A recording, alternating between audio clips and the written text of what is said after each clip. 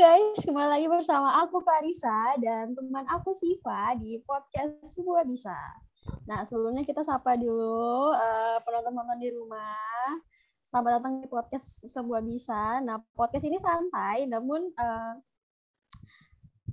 di podcast ini kita bakal berbagi ilmu yang pastinya uh, bermanfaat, terutama buat uh, mahasiswa kedokteran hewan. Yaps, podcast seputar ilmu kebidanan dan kemajiran yang dikemas secara kekinian. BTW, hmm, hari ini tumben banget gak sih cerah, Cea? Ya, hari ini cerah sih sebenarnya, tapi nggak tahu kenapa di kosanku mendung, tapi nggak apa. Tetap semangat untuk membawakan podcast semua bisa. Kayaknya di kosan kamu aja deh, di kosan aku kayaknya cerah-cerah aja deh. Kayaknya secerah tamu spesial kita nih. Ada Renaldi dan ada Anis. Oh iya, halo. Uh, jadi di podcast ini nggak bukan cuma aku sama Siva sendirian, tapi kita ada tamu spesial, ada Rinaldi. Terus apa aja teman-teman kita hari ini? Halo Rinaldi, halo Anis. Halo. Halo Rinaldi. Gimana Ceha? Uh, boleh aku yang uh, sapa Renaldi. Halo Renaldi, apa kabar? Boleh memperkenalkan diri? Halo Siva, kabar aku alhamdulillah baik. Uh, kenalin aku Rinali dari FKH 56. Eh, uh, selanjutnya halo Kak Anis. Uh, apakah suara aku terdengar sebelumnya? Halo CH, kenalin nama aku Anis, aku juga sama kayak Rinaldi dari FKH 56. Wah, pas banget nih. Uh, tadi FKH dua-duanya nih, Renaldi juga dari FKH, Kak Adis juga dari FKH, sama-sama dari FKH. Ngomong-ngomong, uh, teman-teman di sini uh, lagi sibuk apa sih di kuliah? Kalau aku sibuk kuliah aja sih, sama mungkin sedikit organisasi. Oke, kalau Kak Rinaldi sendiri gimana, Kak? Aku juga kurang lebih sama kayak Anis sih. Wow, keren-keren banget sih kayak udah kuliah sibuk pastinya terus organisasi juga imbang banget nggak sih teman-teman kita ini? Nah iya dong, nah pastinya uh, kehadiran mereka berdua di podcast kali ini itu uh, berkaitan dengan kegiatan organisasi mereka. Nah kalau nggak salah kemarin mereka sempat ikut magang ya uh, di salah satu peternakan sapi nih. Nah boleh nih teman-teman uh, bercerita pengalaman teman-teman gimana sih rasanya magang di peternakan sapi? Eh, di sini kan kita semua pernah magang di pertanak di peternakan sapi tahu CH gimana sih? Mungkin kita di sini lebih ke diskusi aja lah sih? Uh, Oke, okay, uh, jadi kan kalau gitu aku ganti deh pertanyaannya. Jadi kan kalau kucing sama anjing itu kan uh, hewan peliharaan yang kalau misalnya yang sering terlihat di sekitar kita gitu lah ya dan kalau misalnya kita sakit ya kita bisa bawa ke klinik terdekat gitu nah kalau sama hewan besar itu cenderung susah kan ya Yup, susah banget kan kalau misalkan benar tadi kalau misalkan kalau uh, anjing uh, anjing atau kucing atau pet itu dia bisa dibawa ke vet terus kalau hewan besar tuh ya vetnya yang ke lapangan. Ke lapangan. Mm -mm. Nah, oke okay, uh, eh, kira-kira nih dari Kanis sama Kak Rinaldi, boleh dong berbagi cerita mungkin di magang peternakannya tuh pernah nemu kasus apa gitu yang unik penyakit yang pernah terjadi di sapi gitu.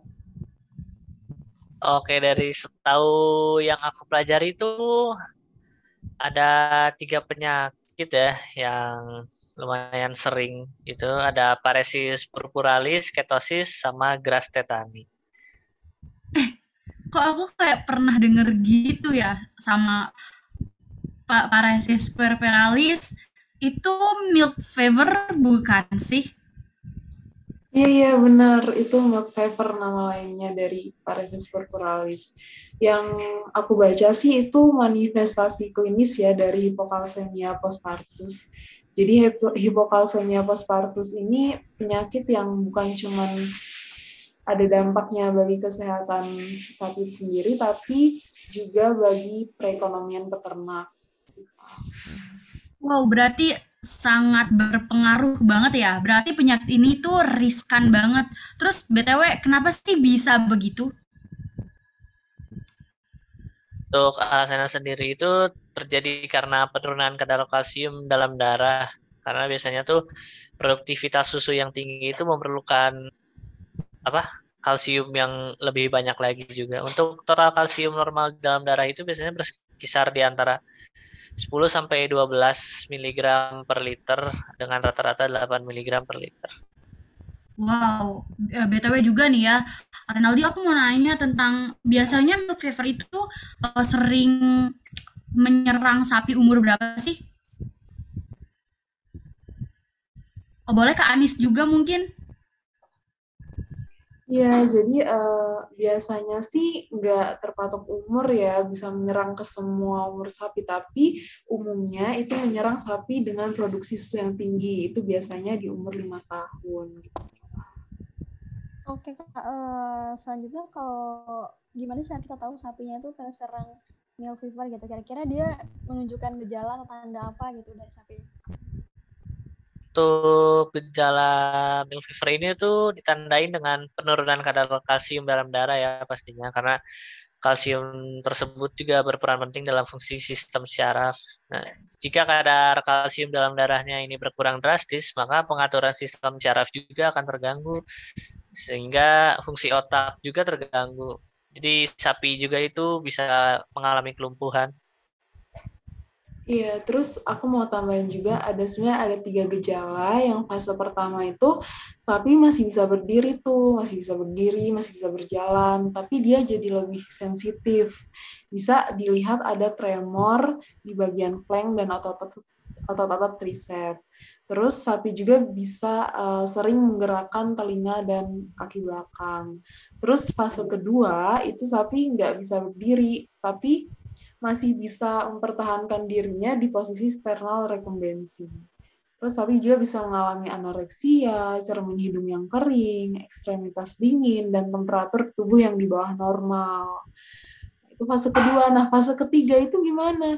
Fase ketiga itu sapi udah mulai kehilangan kesadaran dan berujung koma teman-teman. Tapi udah nggak bisa mempertahankan posisi sterile rekombensinya karena dia sudah mengalami kelemahan otot. Kelemahan otot ini bisa menyebabkan sapi tidak merespon pada berbagai stimulus dan menyebabkan load yang hebat gitu. Jadi sapi bisa mengalami tiga fase gejala klinis hipokalsemia dan uh, akan mengalami kematian kalau sudah uh, berada di fase 3. Gitu. Wow, ternyata banyak juga ya gejala klinisnya ada fase 1, fase 2, fase 3.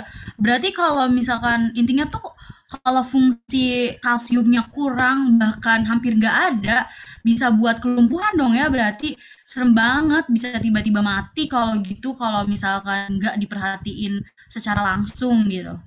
Iya bener banget sih Pak makanya kita harus memperhatikan sekali manajemen terutama terutama sapi yang bunting ya. Biasanya ini kan hipokalsemia terjadi hmm, pada sapi betina yang menjelang melahirkan atau sesudah melahirkan. Uh, terus juga untuk kasus milk fever itu terjadi pada 48 sampai 72 jam setelah sapi melahirkan. Sapi yang mengalami gangguan ini juga biasanya sapi yang telah beranak lebih dari tiga kali.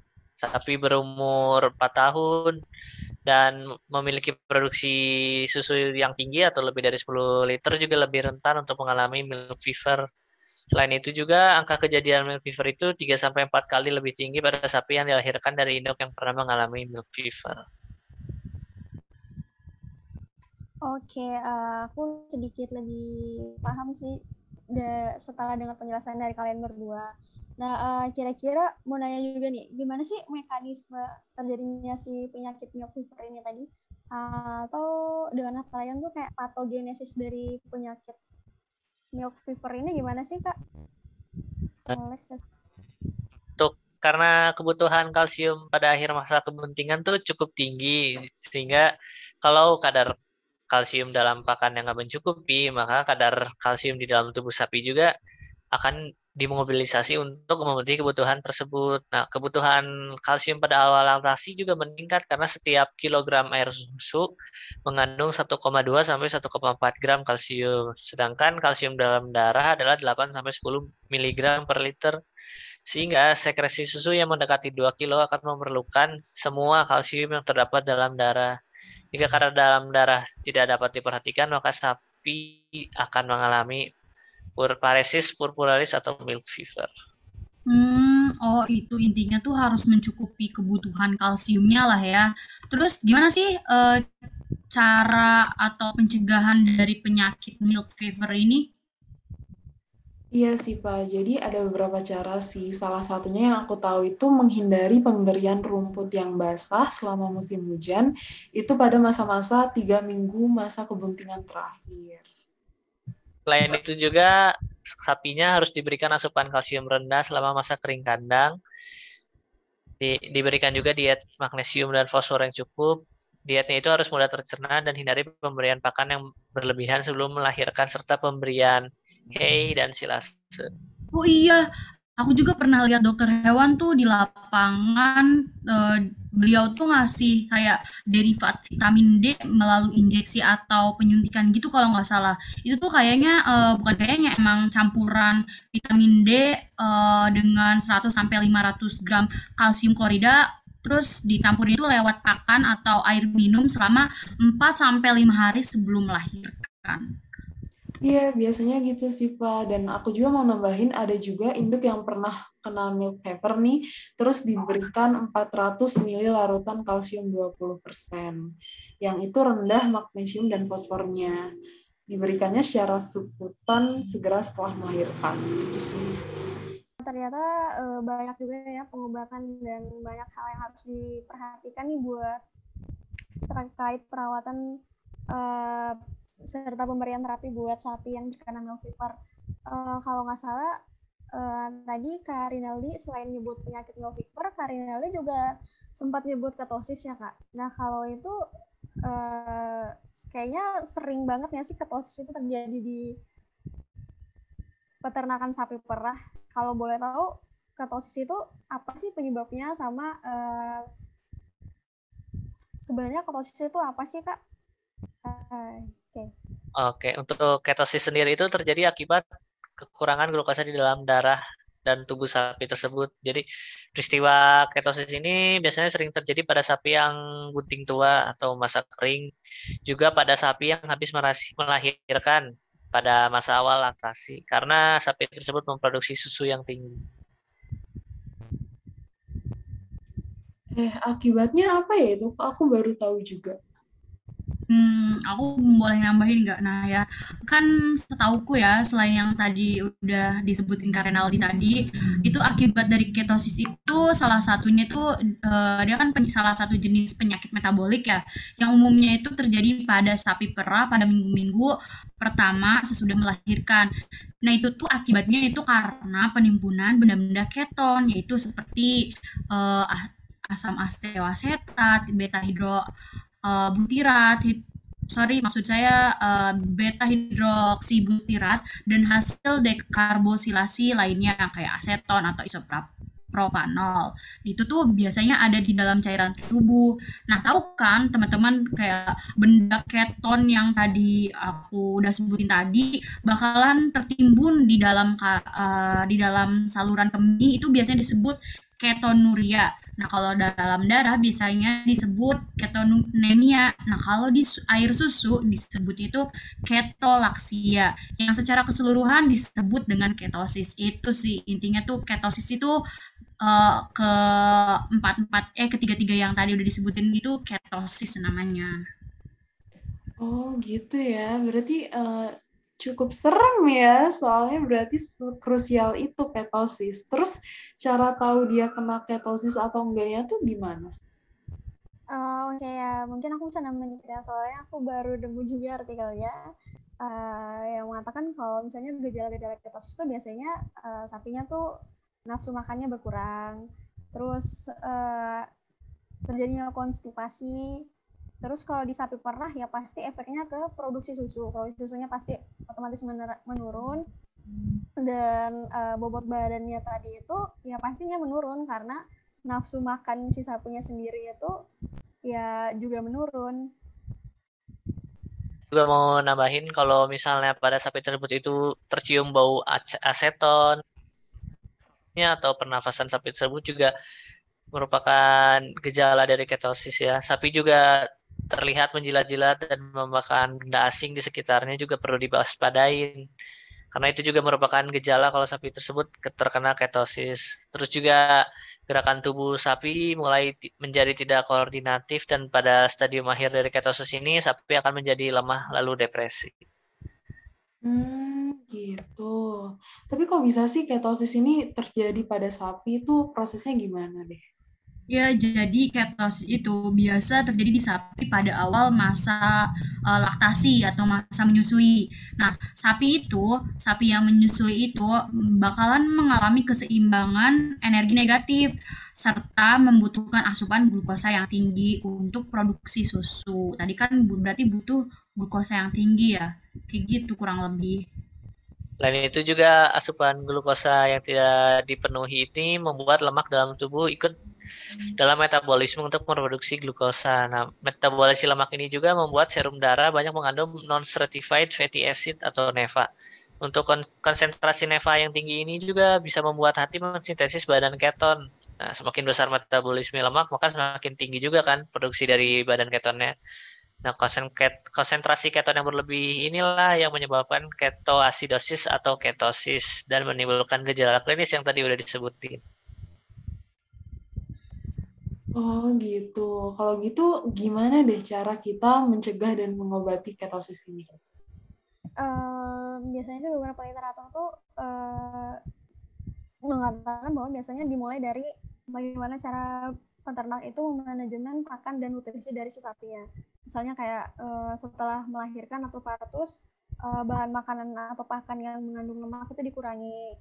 Terus uh, bahan pakan yang hijauan juga konsentrat itu uh, diusahakan diberikan secara rutin terus uh, apa menghindari pemberian jerami atau selasa karena uh, konsentrasi asam butiratnya lumayan tinggi kemudian uh, usahakan selalu memonitoring uh, kondisi keotik setiap minggu dari sapinya dengan cara saya mengetes susunya terus bisa juga dikasih propilen glikol Terus uh, untuk sapi-sapi yang uh, terdeteksi terkena ketosis, nah itu bisa juga diberikan uh, propilen glikol sebagai terapi untuk sapi-sapi yang sakit tersebut. Wow, banyak banget ya cara pencegahannya. Itu kayak mungkin lebih ke manajemen pakannya sih yang harus kita perhatikan. Iya, swear deh kalau nggak diperhatiin sama semua peternak-peternak sapi perah nih misal ya, bisa bayangin nggak sih kita bisa minum susu, uh, nggak bisa minum susu yang seger karena bau aseton itu. Iya kan, nanti malah para peternak juga rugi. Makanya perlu diper diperhatiin banget nih untuk para peternak. Iya, benar-benar banget. Terus teman-teman pernah denger nggak sih kemarin aku juga sempat denger-denger nih ada penyakit namanya gestetani. Terus tadi kan Karenaldi bilang tuh tadi uh, mau angkat isu penyakit ini nih. Tadi gimana ya Karenaldi boleh disinggung-singgung nih tentang penyakit Gres tetani itu apa gitu? Ya tadi tentang Gres tetani ya. Gres tetani juga uh, terjadi pada sapi sih lumayan sering. Tapi disebut juga itu sebagai Steger disease, Grass Steger, Coxsackie, with pleasure Posturing Posturing, hipomagnesemia atau hypomagnetic tetani. Nah, untuk penyebab dari Grass tetani ini adalah rendahnya kadar magnesium dalam darah atau hipomagnesemia akibat rendahnya asupan magnesium atau kehilangan magnesium misalnya saat laktasi.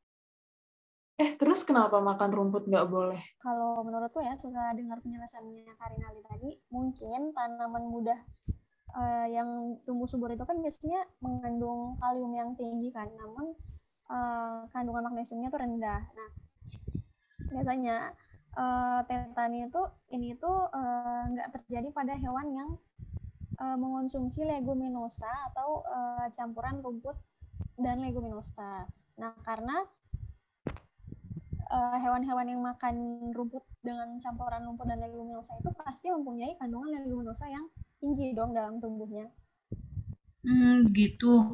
Berarti uh, rumput-rumput itu ada yang baik, ada yang enggak berarti ya. Terus uh, biasanya sih uh, sapi-sapi ini lebih riskan atau gampang terkena itu pada usia berapa sih? Uh, pada anak-anak sapi yang sedang tumbuh, sapi yang memasuki masa kering, dan induk yang mempunyai pedet lebih dari empat bulan itu tidak beresiko menderita dari penyakit Grasetan ini.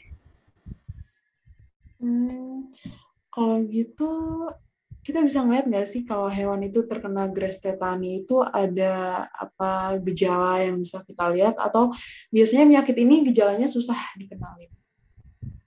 Uh, untuk gejalanya sendiri itu ada dari gejala yang ringan sampai gejala berat ya. Untuk gejala ringan itu biasanya seperti menggertakkan gigi, uh, gaya berjalan dari sapi tersebut uh, jadi sedikit aneh, Sapi juga cenderung lebih gugup. Nah, untuk gejala berat ini uh, bisa terjadi kejang, koma, dan bahkan jika kadar magnesiumnya rendah banget itu sapi bisa tiba-tiba ambruk. Nah, gejala ini juga berkembangnya cukup cepat dari gejala ringan sampai gejala berat sehingga kadang sapi tiba-tiba ditemukan mati aja. Wow, kayak uh, itu banget ya. Tapi kan tadi ada gejala ringan, ada gejala berat, berarti kayak ada fase-fasenya juga nih. Terus kalau gitu biar kita tahu tuh uh, awal mulanya penyakit Graves tetani itu dan patogenesisnya dari penyakit ini tuh kayak gimana sih? Kalau setahu aku tuh Graves tetani itu kan diakibatkan sapi memiliki kadar magnesium yang rendah nggak sih? Sejauh dari tadi aku dengerin kalian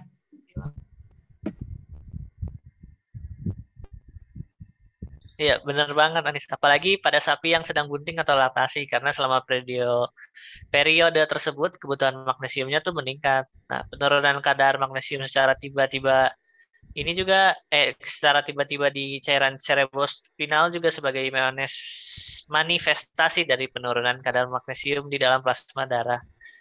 Sehingga kondisi itu bisa berlangsung akut Nah, jadi ketika kadar magnesium dalam darah itu sangat rendah sehingga tubuh sapi tersebut itu tidak bisa memobilisasi.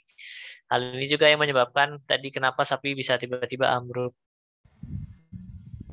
Setelah dengar penjelasannya Sri Aldi soal patogenesisnya dan ternyata emang bahaya banget dan uh, para peternak emang harus dituntut buat lebih aware terhadap penyakit ini gitu. Nah, menurut teman-teman sendiri, kira-kira ada nggak sih cara untuk mencegah atau kayak perawatan yang bagus buat mengatasi penyakit ini tuh kayak gimana? Kalau menurut aku ya karena tadi sapinya kekurangan magnesium, jadi untuk pencegahannya sudah pasti diberi pakan tambahan yang mengandung magnesium sebagai suplemen mineral. Gitu. Apalagi ketika awal musim hujan tuh karena peternak sering memberi pakan rumput yang masih muda, Nah, rumput yang masih muda ini kan kadar magnesiumnya rendah, jadi uh, sapi juga yang memakan itu magnesiumnya juga rendah dalam tubuhnya. Perawatannya itu sendiri juga cukup sulit sih, apalagi kalau sapi yang menderita penyakit ini tuh udah dibiarkan lebih dari 12 jam. Karena setelah 12 jam itu biasanya sapi menjadi sangat stres dan tenaganya tuh dikerahkan berlebih gitu, sehingga bisa ya tadi mati secara mendadak. Kalau berarti penangan penanganannya tuh emang gak bisa secara mendadak gitu berarti iya dong gimana nih gimana uh, Renaldi Ya, jadi karena itu, jika gejala awal sudah terlihat, sapi harus segera ditangani. Bisa juga diberikan perawatan darurat dengan penyuntikan larutan garam Epsom jenuh secara intravena sebagai suplemen magnesium. Ih, sumpah ya, dari tadi tuh uh, kita udah bahas milk fever, ketosis, terus ini tetani penyakit-penyakit tentang sapi yang perlu banget difokusin secara lebih mendalam, kayak ngobrol-ngobrol santai juga bisa kayaknya gitu ya. Iya, kita perlu tahu, apalagi kita uh, harus benar-benar perhatiin nih manajemen kesehatan hewannya, kesehatan lingkungannya, baik kandang maupun diri peternak juga perlu diperhatikan. Iya, apalagi kan hewan besar juga beda banget sama hewan kecil. Kalau kita tahu apa hewan besar sakit juga lebih susah karena kita juga biasanya kan nggak tidur satu rumah bersama sama hewan besar. Jadi wajib banget nih dikontrol biar nggak kelolosan. Nah, uh, benar banget teman-teman. Uh, dari tadi kita nggak sadar ya kita udah ngobrol banyak hal. Dan kita udah ngobrol banyak uh, tentang penyakit otosis, tentang milk fever, terus yang terakhir tadi tani gitu. Dan harapannya sih dari obrolan kita ini uh, semoga bermanfaat ya buat teman-teman di rumah. Semoga ilmu-ilmu yang sekiranya kita sampaikan di sini tuh bisa diserap teman-teman dan bisa dipahami gitu. Keren banget sih uh, Ani sama Rinaldi hari ini Yo iya sebelumnya makasih banget buat Kak Anis dan Kak Renaldi yang udah mau diajak diskusi bareng kita nih Ceha. Iya yeah, guys, makasih juga. Thank you for having me. Aku juga sama-sama belajar di sini nih. Keren banget. Nggak sabar ikut next diskusi. Oke, okay, sip. Kak Anis, nih bisa dicatat nih. Topik eh, selanjutnya cakep. kita wajib undang Kak Anis sama Karina lagi. Ya, makasih juga ya udah mau undang aku ke sini. Acaranya bermanfaat banget tau. Ya dong, karena ini podcast semua bisa. Kalau aku bisa, kamu pasti bisa.